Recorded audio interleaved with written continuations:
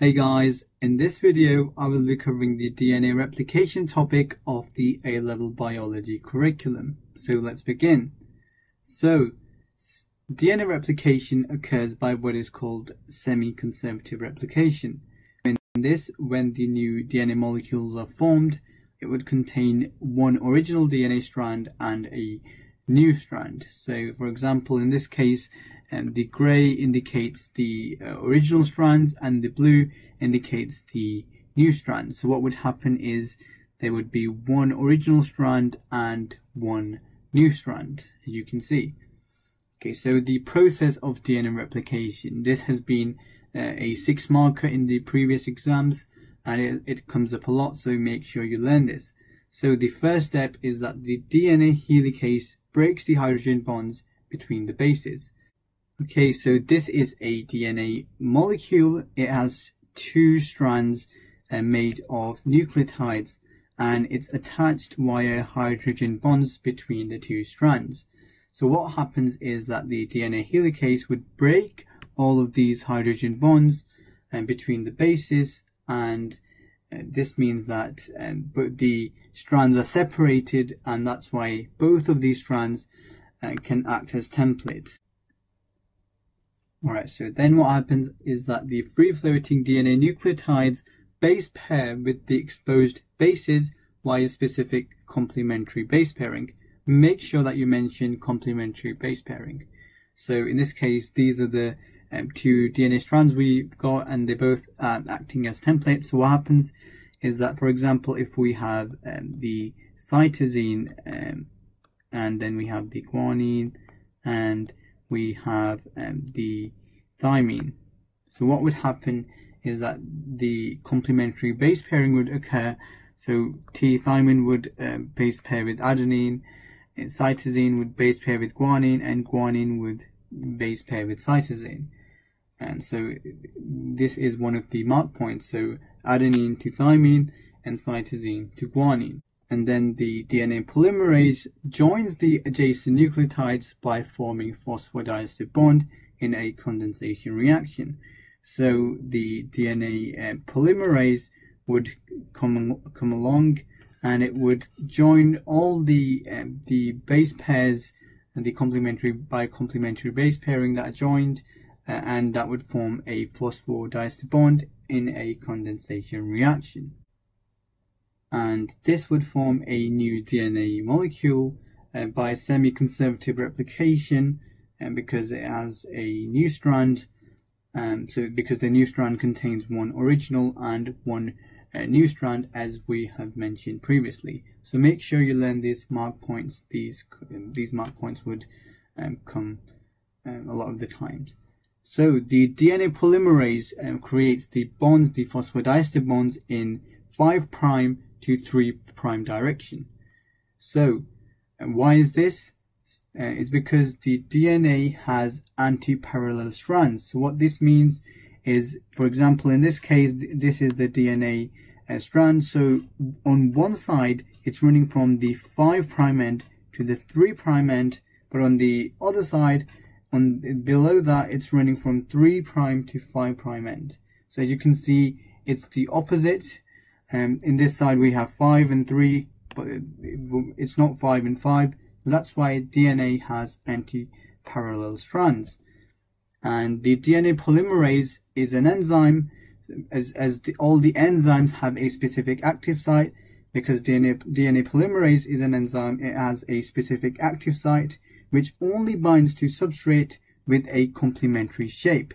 So the um, the substrate should have a complementary shape which um, the active site of the enzyme DNA polymerase can bind to.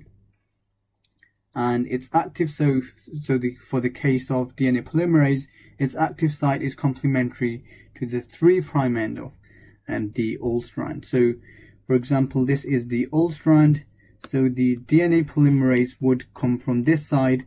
It cannot come from this side because it would not be complementary from there. So that's why it would um, start from the 3' end um, of the old strand and it would move in the 3 to 5 direction. So in this direction.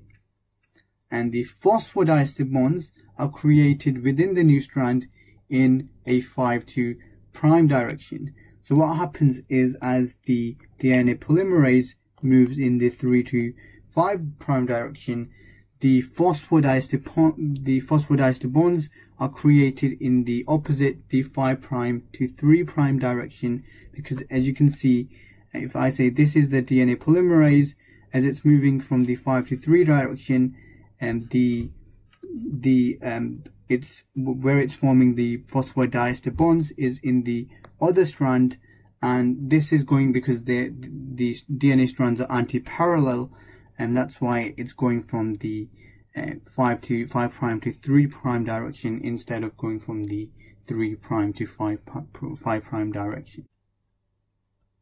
Alright, so the Watson and Crick model. So this was what was done to prove that DNA replication occurs by the semi-conservative uh, replication. So what they did, so basically uh, DNA, so bacterial DNA has nitrogen and there are two types of nitrogen. You can either have the heavier uh, 15 um, nitrogen or the lighter which weighs 14. So there's two type of nitrogens and bacteria um, can have either of them so the DNA has nitrogen and you can have either the 15 or the 14 nitrogen. So what the, they did was they obtained bacteria with only the heavier um, nitrogen. Um, so the DNA um, contained the 15 nitrogen. And so this was the parent, the first DNA uh, strand. So all of the nitrogen was heavy because they only had the 15 weighing nitrogen. So when you centrifuge something, um, it shows you the density. So for this case, the nitrogen, they um, nitrogen turned out to be heavier. So the heavier things go at the bottom, and because this is heavy, this went at the bottom.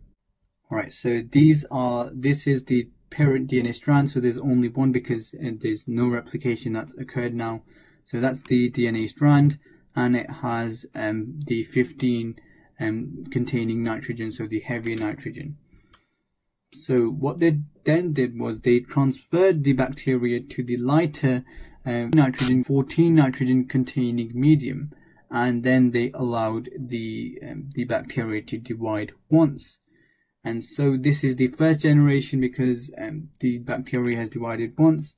And when they centrifuged it, what they found was all of the um, the the nitrogens were in the middle. So the the mass, the density was intermediate. So it it, it wasn't heavy anymore. It wasn't um, at the bottom, but it was intermediate now. Um, so this was in the middle.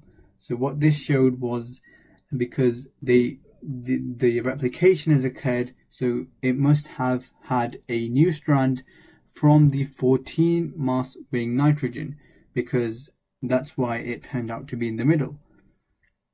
And then the second generation, when they allowed the bacteria to divide again, it contained half intermediate and half light at the top. So this showed that the DNA strand would have looked something like this. So they would have, would have contained uh, four original strands from the previous um, the, from the previous replication, and also the four new blue and the 14 weighing nitrogens um, as well. So so this showed that the replication occurred by the semi-conservative. So it contains one of the original strands and one new strand. So that proved semi-conservative replication.